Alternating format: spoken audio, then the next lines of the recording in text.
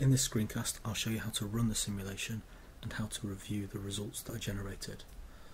So now that steps 1 to 6 have been completed, the run button has gone from having a red border to having a black border, indicating that enough information has been supplied to run the simulation. And the run button is this one here. It's got the black triangle and it looks a little bit like a play button. To run the simulation all we have to do is click on this and very quickly the simulation will run within 0.11 of a second. That's been completed.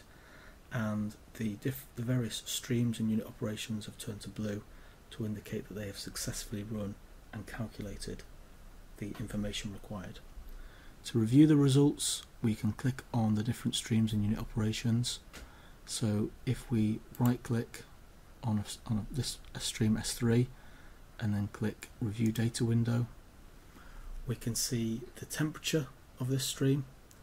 Now this is given as somewhere between the two temperatures of S1 and S2 which was set at 298K and 293K respectively and PRO/II has calculated the temperature of the mixed stream now.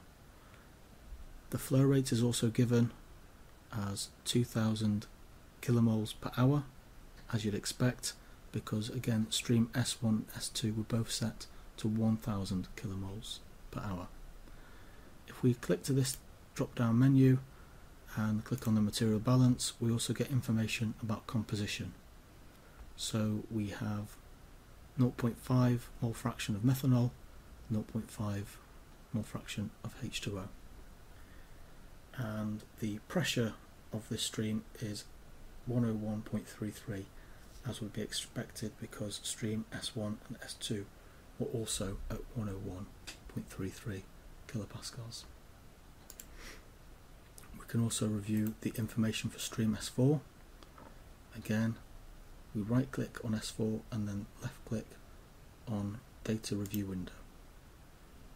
And we see here that the temperature has remained the same as stream S3, but the pressure has increased because the pump was set to increase the process stream pressure by 100 kilopascals.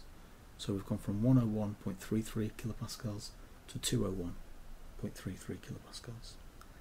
Again, if we click on this drop down menu, select material balance, we see that the composition of the stream has remained at 0.5 mole fraction methanol, 0.5 mole fraction of H2O. As you'd expect, the pump hasn't changed the composition of the stream. We can also review information about the unit operations. So if we right click on the pump and then left click on data review window, we can see the name of the pump, P1, the pressure gained, which is something that we set, and then there's some additional information. The head that's been generated by this in meters, and also the work that was required to increase the pressure of the stream. So that's quite useful it allows us to specify the duty that the pump will require to fulfill this function. So that will be at 1.6261 kilowatts.